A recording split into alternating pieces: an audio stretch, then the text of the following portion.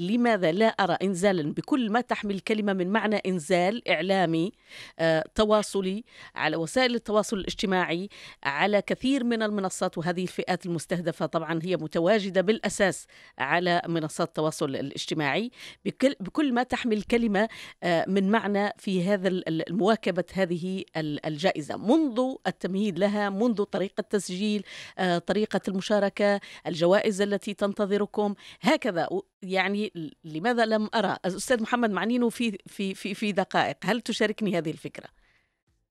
أه، صحيح أن هذه المبادرة هي مبادرة أولا جيدة وهي مبادرة تستحق التشجيع وهي مبادرة التقت فيها عدد من النوايا الحسنة سواء مغربية أو إماراتية ويعني عندما تحضر المسابقات تشعر بنوع كبير من الارتياح لأن شباب وأطفال جاءوا من مختلف أنحاء المغرب. كلهم حيوية وكل واحد فيهم درس وقرأ عدد من الكتب وجاء ليجيب على أسئلة وهناك تنظيم محكم لكل هذا.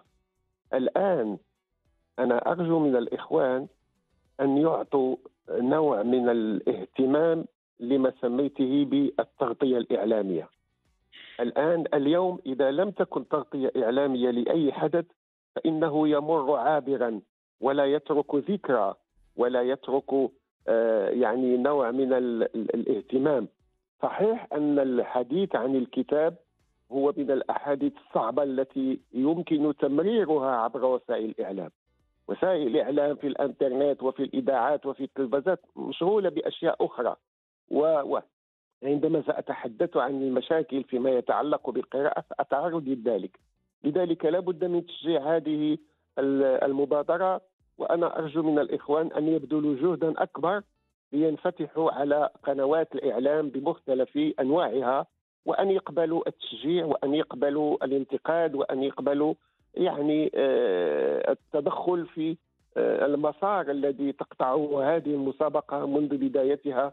إلى تتويجها كما سيتم ذلك يوم الأحد القادم إن شاء الله. إن شاء الله. ولا بد من تشجيع هذه المبادرة.